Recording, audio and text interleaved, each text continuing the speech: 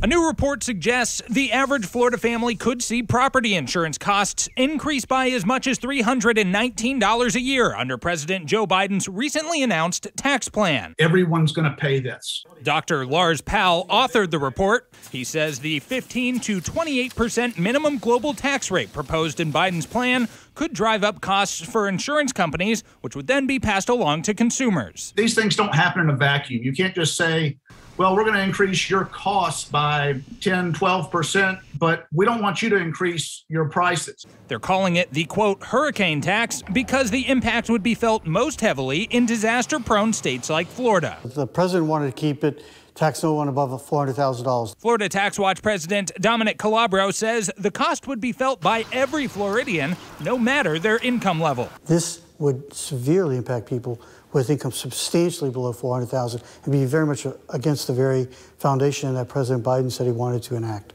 It's projected the hurricane tax would drive up annual property insurance costs by $10 billion nationwide and $1.6 billion here in Florida alone. Everybody's prices go up when when these when insurance premiums go up because everybody's got to buy insurance for something. Fiscal watchdogs say by either eliminating the global minimum tax rate altogether or by creating an exemption for insurers, the increased costs could be avoided. Reporting from the state capitol, Jake Stofan, Channel 4, the local station.